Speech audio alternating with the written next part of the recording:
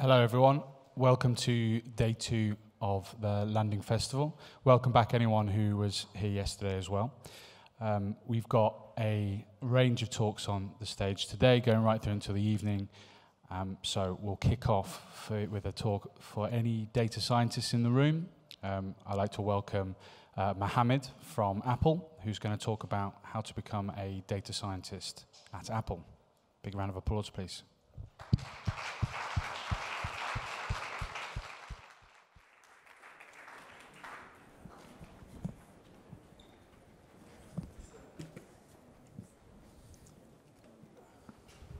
Hola, everyone. Good evening.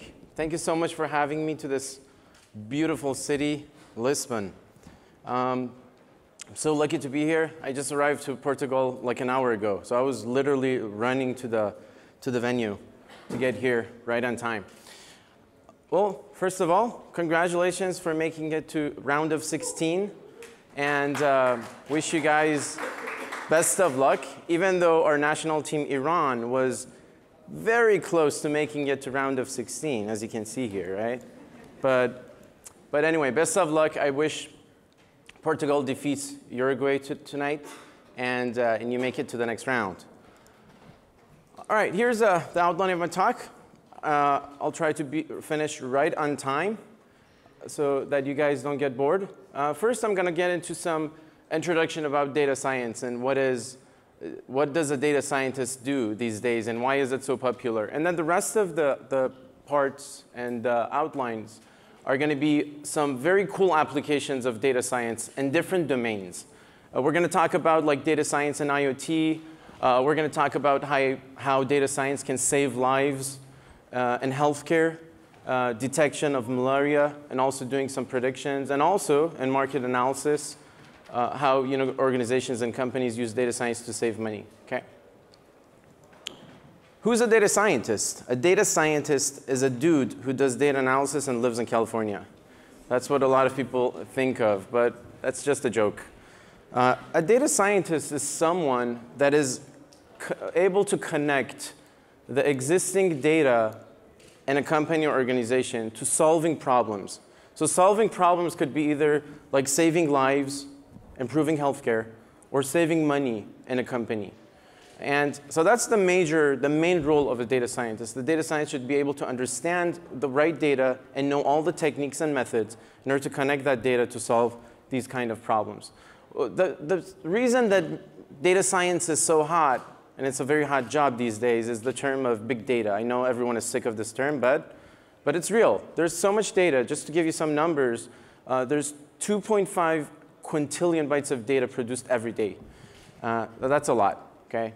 And, um, and something that is even more surprising is that 90% of uh, the world's data today has been created in the past two years. Just imagine what's going to happen in the next few years. The amount of data that is being generated is exponentially growing every day.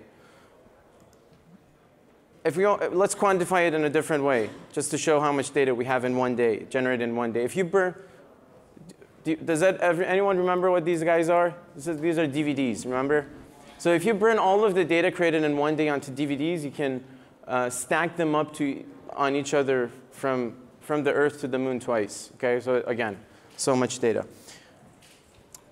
So when we get into big data, I'm going to tell you an old joke. Some guy was looking for his keys during the night under the light. And a policeman was crossing by and decided to help this guy to find his keys. So they started you know, searching around to find the keys like for an hour. And the policeman says, are you sure you lost your keys here? And the guy says, no, but this is the only place that light is shedding. Okay? Now, the same thing happens and applies to big data. Many companies and organizations think that wherever they have big data, let's go and, big, let's go and dig out the data. That is not true. In a lot of cases, that is absolute waste of time. Uh, in, in other words, understanding the right data uh, that you need for, for solving your needs and your problems is, is a, a, challenge a lot of times.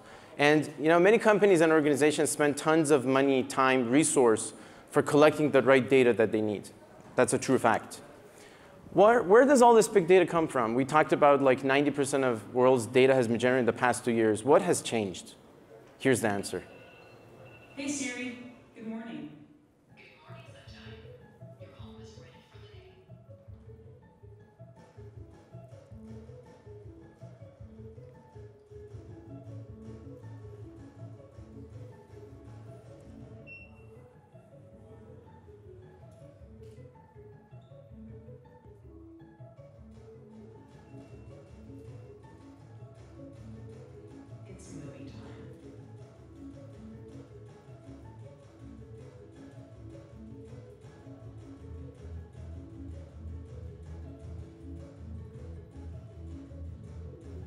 The answer is? Is what? IoT, Internet of Things. The definition of IoT is um, uh, like a whole system which has devices that have sensors in, in order to be able to sense the environment and also have to be able to communicate with each other. That's why they have to be connected to the internet.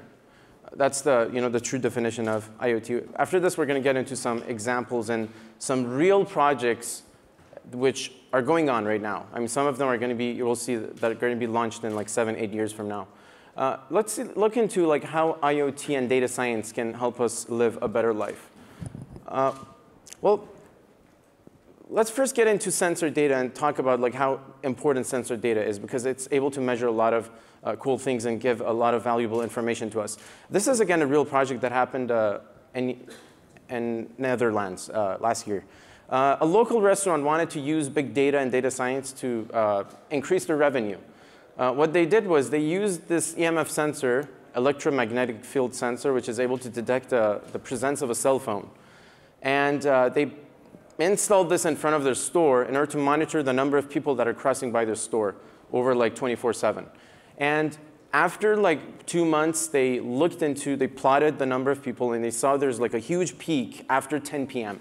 The reason was because there was a pub next by, next door, and people were going to the pub. And this local restaurant was closing at 7 p.m. So that means that it was missing a lot of potential customers. All they did was they expanded their working hours for three hours, and the revenue doubled in one year, that easy. And the, you know, the price for this EMF sensor is 25 bucks. You can get it from Amazon. It's very cheap. This is something that I'm planning to do in the future if I become jobless. I'm just going to grab one of these sensors and go and install it different places, uh, you know, get this information and sell this information to local uh, places. All right. How many people know what time series data is? A few? All right. So time series data is any data set which you have timestamps on the x-axis. I'm going to give you some examples here. Or more general, time series data is continuous data. Okay, so we have like either discrete data or continuous data, two types of data sets. Um, and time series data is a really important data because the output of most of the sensors and all of the sensors that we have these days is time series. So we can easily say that uh, the new big data or the real big data is time series data. I'm going to give you some examples. Like the first one is EKG, electrocardiogram of heartbeats, uh, is a perfect example for, you know, for, for time series. Uh, these two examples here uh, are like accelerometer data, accelerometer sensors from uh, smartwatch and smartphone. Uh, they have like three dimensions, similar to gyroscope as well and compass. These are perfect example of time series. Stock prices. The stock price changes like every like few seconds, right? So if you plot it, you'll simply see a time series. Um, the reason that I put this up is because I want to talk about a few interesting projects that, is that are using time series data, and also some algorithms that you can apply onto time series data. Well, this is the, one of the projects. I was driving back home from Stanford. Every like Thursday, I drive home from there. And at some point in the freeway, I fall into a hole, or like a, it's a very huge bump, you know? And it's really disturbing. And this happens like every week because I forget, okay? So I was wondering like, can we somehow store accelerometer data and geolocation data at the, at the same time so that next time my, my phone can give me a notification and tell me, watch out, like in half a mile, you're to fall into a big hole. And we actually did it. So we created this app which uh, monitors the accelerometer and geolocation at the same time. And for example, this is the z-axis of the accelerometer. So if you uh, put your phone, for example, on the dashboard like this, if you go on a bump, the z-axis will you know, show some, peak, some peaks, right? Uh, so for example, these two peaks at the beginning shows two bumps that I'm driving on. Here's the first one, and then here's the second one. Okay, very simple. But again, this shows the, you know, the use cases of uh, a lot of built-in sensors that you have in your smartwatch and your smartphone available right now. You can use them for uh, so many different applications. Uh, this is another project we did with uh, collaboration with the psychology department at University of Texas at Dallas. They, in order to improve and assist people with speech disorders, they put 12 accelerometer sensors on a user's uh, mouth, tongue, and lips. And ask the users to speak out some words, and then at the same time, they were recording the accelerometer data. So that means for every spoken word, we also had the uh, corresponding accelerometer data, right? Using that data, we built a classifier that would be able to automatically classify the words given the time series data with 98% accuracy. That's simple. If you want to get more details, you can find it here in this published paper that we published last year, 2017. ECG is a very electrocardiogram of heartbeats is, again, uh, one of those really big data sets that there's a lot of potential for extracting information out of it. Uh, again, we started a project which, uh, using patients' ECG, we want to predict a heart attack.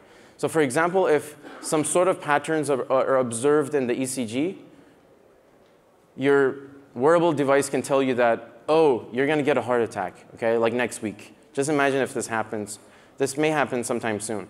But, I mean, obviously, we have to be very careful about false positives because, I mean, if your watch tells you that, okay, you're going to get a heart attack next week, you'll get a heart attack right away, right? So there, we have to handle this in a, you know, a smarter way. Maybe like send a notification to your cardiologist, and then your cardiologist can ask you to go there for uh, taking an ECG. Uh, has anyone seen this one? This is a startup company in Silicon Valley, Kardia, AliveCor. They have built this very simple, portable, um, ECG sensor, which um, all you have to do is put two of your fingers on it, and it will record your ECG accurately. And then it will do some analysis and tell you whether your ECG is normal or not. And so we don't really need those stickers with all those you know, wires hanging out. Uh, it's very simple. I mean, we're, we're getting this. This uh, is actually FDA approved by the United States government. And um, it has a very cool app. Uh, what it it will, you, you will actually record your ECG data and all of this data is going to be stored into your iCloud account.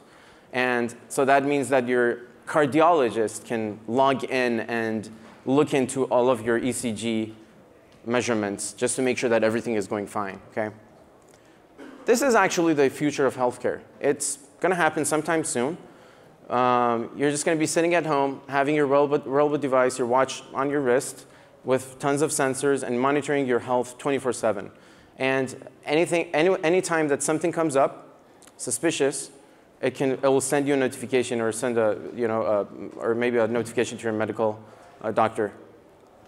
And there's even a lot of you know news on uh, about Apple Watch, like how this heart rate sensor that is already integrated into the watch has saved lives. People have noticed some very high, unusual heart rates and they went to the cardiologist, and uh, there were a lot of them were you know diagnosed with some problem.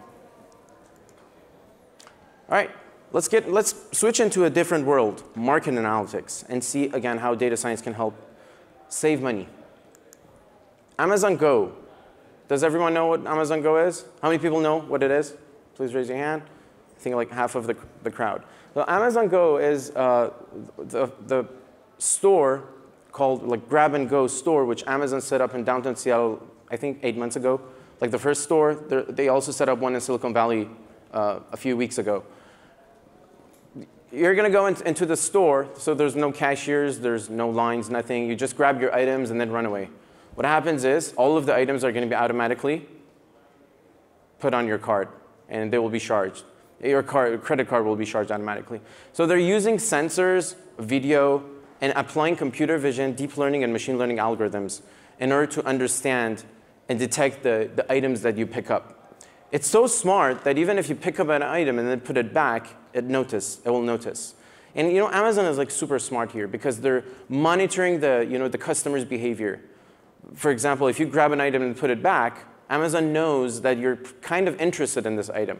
So they're going to send a coupon to your house before you get home. So that means next time you're going to buy it, right? Uh, another smart move Amazon made this year, they uh, acquired Whole Food. Whole Food is one of these like chain uh, supermarkets that sells organic stuff in the US. It's one of the biggest. Uh, and it, it's kind of obvious what Amazon wants to do. They kind of want to you know, install this whole Amazon Go technology onto Whole Foods. If they do that, I would say all other supermarket or chain stores are going to go bankrupt. I mean, the same thing that happened for other department stores that Amazon did this with, you know, like Target. Well, Target is not bankrupted yet, but they're close to bankrupt. Uh, Sears totally bankrupted just because of Amazon. Walmart was going bankrupt, but they just came back to the market. Um, here's a story about, I want to talk about an algorithm that is the most influential algorithm market analysis and is widely used. It's called association rule mining. Uh, a few years ago, Target, which was one of these department stores, uh, some guy went into the store and started yelling and shouting at the store's manager and said, why do you guys send pregnancy coupons to my teenage girl? And you know, the store's manager apologizes and say, we're sorry, this is never ever gonna happen again. But like after a few weeks, the store's manager calls the dad to follow up on this and say again, we're so sorry that this happened. And the dad says, oh, I'm sorry, I didn't know. My teenage girl was actually pregnant. So how did Target understand that this guy's teenage girl is pregnant before the dad understood? Well, the answer is association rule mining. Based on some rule that they learned from users' transactions and customer transactions, if a customer purchased 19 items together, not necessarily in one single transaction, maybe like over like a, a few weeks uh, period of time, it means they're pregnant, okay? So that brings up this topic, market basket analysis and also association rule mining that I was talking about. The output of this algorithm is going to be looking like, like this. Like customers who bought this item also bought these items, okay?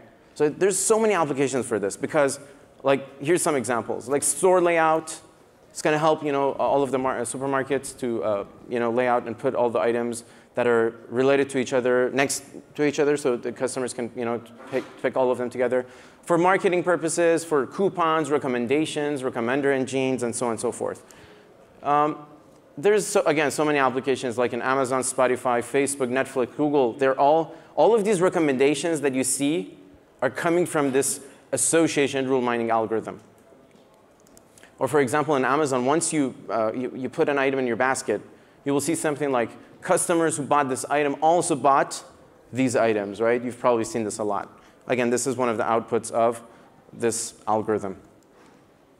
Um, so again, going back to association rule mining, the output of this algorithm looks like, like this. For example, this is based on true data. Most of the customers who purchase onions and, and, and potatoes also purchased burgers. Most of the customers who purchase flour and sugar purchased eggs. Why? They wanted to bake a cake, right? So some of these rules are pretty intuitive, right? You could even guess without applying association rule mining. But some of them are not, like this one. Most of the customers who purchase diapers and milk purchase Coke. For what reason? We have no idea. But it's happening, right? Most of the customers who like Apple products and play Pokemon Go like pasta. Well, I just made, made this up, but, uh, but the rest of the rules are based on true data.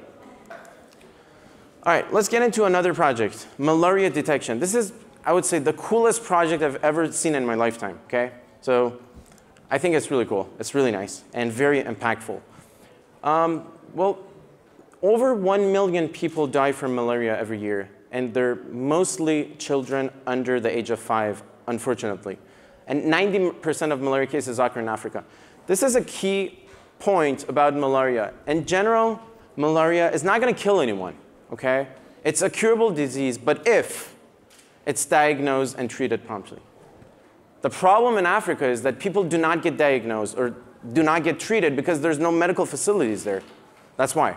That's why so many people and most of the casualties are happening in Africa these days. Now, in order to solve this problem, we need to understand the spread and the density of malaria over all Africa in real time. If we have that information somehow, it means that wherever malaria is like dense and there's a lot of malaria cases happening there, people or uh, charities can go and build medical facilities there and save tons of lives. Okay? In order to get this information, there's two solutions. Number one, we train and send millions of entomologists all over Africa, and then these guys, you know, sit down, sit, sit down and count the number of mosquitoes that are affected by malaria. Well, that's impossible. We probably don't even have one million entomologists around the globe. Number two, if we can build a very cheap portable sensor device that could automatically count the number of mosquitoes affected by malaria, problem solved. And here it is. This device costs three bucks and is able to do this. Here's the whole idea. If you shine a laser beam, so you have this laser beam and a receiver, and the mosquito flies through the laser beam. Once that happens, you're going to see like some time series data here in the receiver, right? Because of the change of voltage. And you know, the pattern of this, these time series are great signatures and identifiers of the type of the mosquito, the gender of the mosquito, and whether it's carrying a, a virus like Zika or malaria. Okay? It's a classification problem. All you have to do is you have to train this model on like all species that you have, both genders, male and female, and also like a different class of malaria, non-malaria, Zika, non-Zika, and so on and so forth, and you can do it. So we did this in our lab. We trained, we collected, it took us like one year to collect data from 30 different species. And the model that we built was able to identify male from female with 99.9% accuracy for the mosquitoes. And uh, so it was, it was working very well.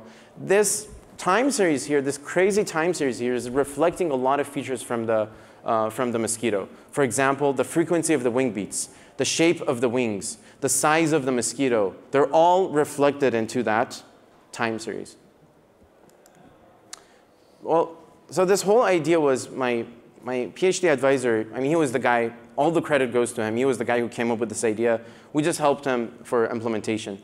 And uh, he put up this uh, company called FarmSense.io, which are uh, building these you know, portable devices. And this could also not, not only use, not uh, use uh, only for um, malaria, it could also, you, you know, farmers can also set it up in their farms in order to understand the type of mosquitoes that are flying around their farms, you know, for choosing the right pest and, uh, and, and, you know, taking care of their whole farm. I also put up his photo here, Eamonn. He's, he's one of the greatest advisors on earth, I would say. Uh, if you have any questions about this project, you can directly contact him. I put up his email in the slides. And also, here's the link to this uh, uh, uh, startup company, which you can get more information about it. After we started working on this project, Microsoft Research approached our lab and discussed a very interesting project that they are working on. They are going to build a drone that is able to capture mosquitoes in the air and sequence the blood inside the mosquito in order to understand the different species that are living in that area and also if, you know, if there's any outbreaking diseases, you know, to kind of like understand and prevent that, you know, from outbreaking. Um, but so this project is going to be launched in 2025, like seven years from now. But you know, the blood sequencing is the most expensive part, and it takes a lot of time. You know, these guys claim that uh, after like seven years from now, they're going to be able to do this in 12 hours inside the drone. But that's still a lot of time. But using the sensor laser technology that I discussed right now, you can instantly get some very useful information from the mosquito by just shining the laser, right? Just by shining the laser, you can instantly understand the gender, the type of the mosquito, if it's carrying any, any virus, and so on and so forth. Here's a short video that explains and talks about this project. I'm going to show you, oops, sorry.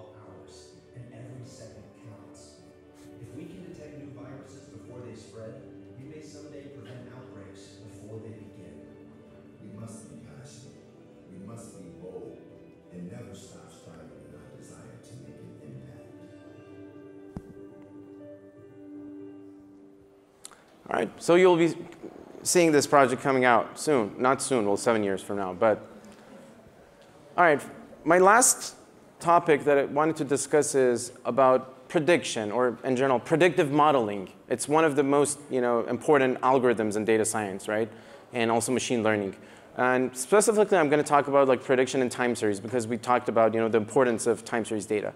Uh, so predictive modeling techniques and you know, algorithms have, are, have existed uh, like for maybe 40 years. Okay, they're very old, but on discrete data.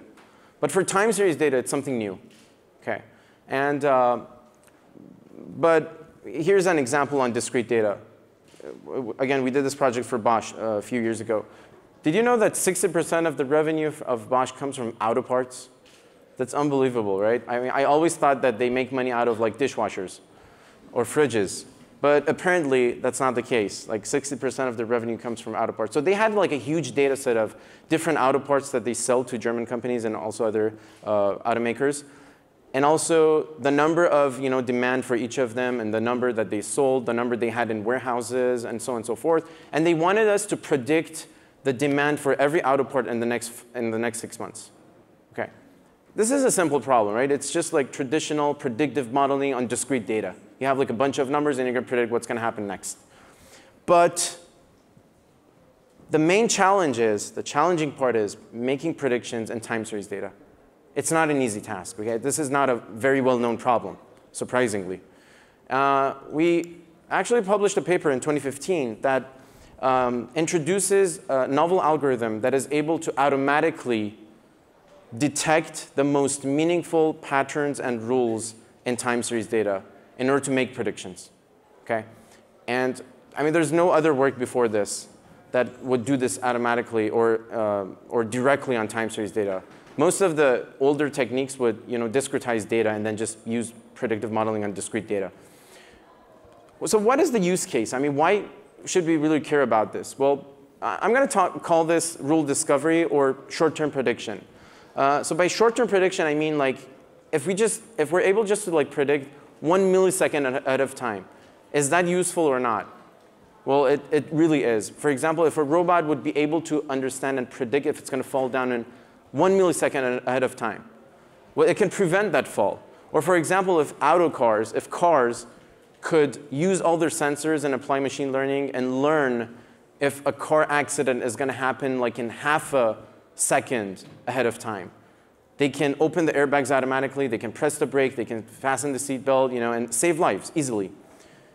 And this is not something imaginary. It's something that is happening right now. Tesla is claiming that they're doing this. I'm going to show you, show you a short video. It's uh, taken from a Tesla, inside a Tesla. And um, you will hear the beep before the accident happens.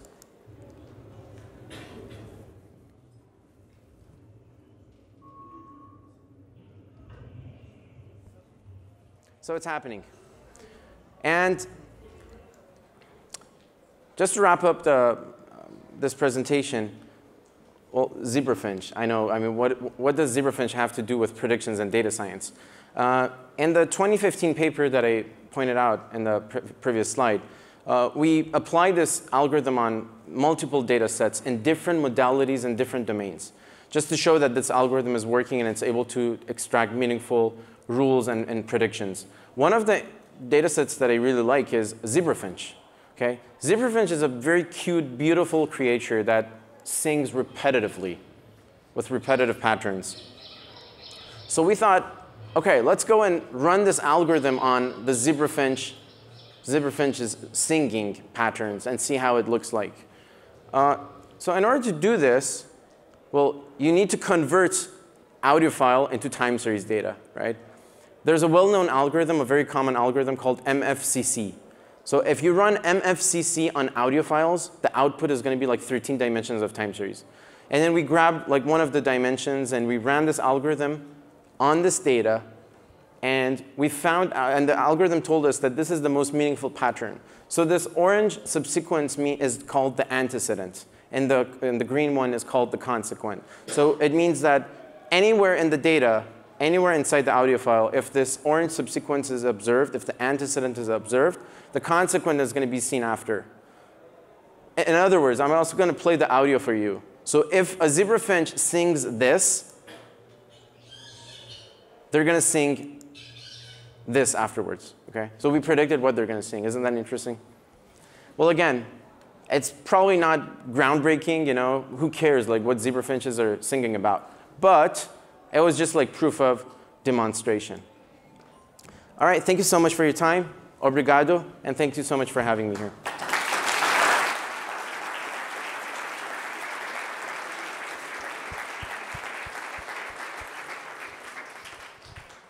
Thanks, Mohammad. Do we have any questions from the audience for Mohammad? Hi. Um, if you have a multi-vector of data sets, like multiple variable in the, in the time series, how do you con consider the, the correlation between different, different entities? That's a very good question, but that's a very challenging problem because um, that's something. So after we published this paper, we started working on this because there's so many applications for this. For example, if if you have like weather data, like humidity and temperature at the same time, and then if you want to predict if it's going to rain or not, so you have like two different time series, two different domains, and you want to understand this.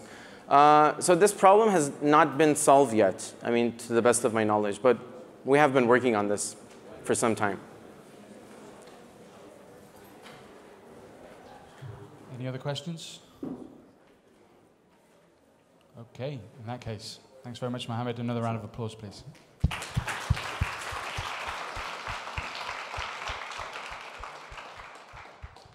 Okay, we're going to take a quick break, but make sure you're back here at 4.40 for our next talk. Thank you.